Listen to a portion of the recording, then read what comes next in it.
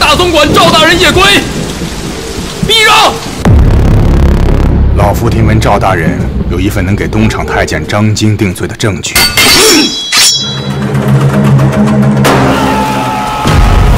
皇帝口谕：锦衣卫南北府司捉住真凶者，便可继承衣钵。只有赵大人死了，两边的人才能夺这个位子。赵大人遇害一事，显然是东厂之人所为。我们一定将此事查个水落石出。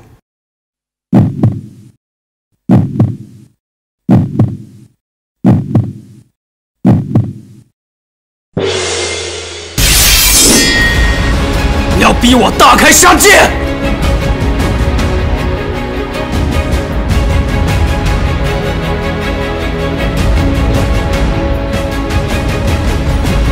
宦官把持朝政，民不聊生，这大明还有几分气数？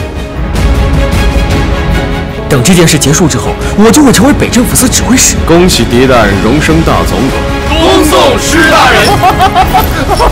你也惦记着这位置呢，是不是？这是老子拿命拼来的。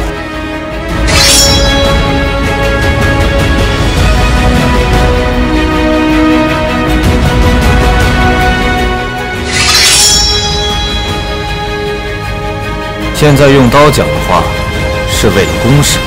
阎王面前见！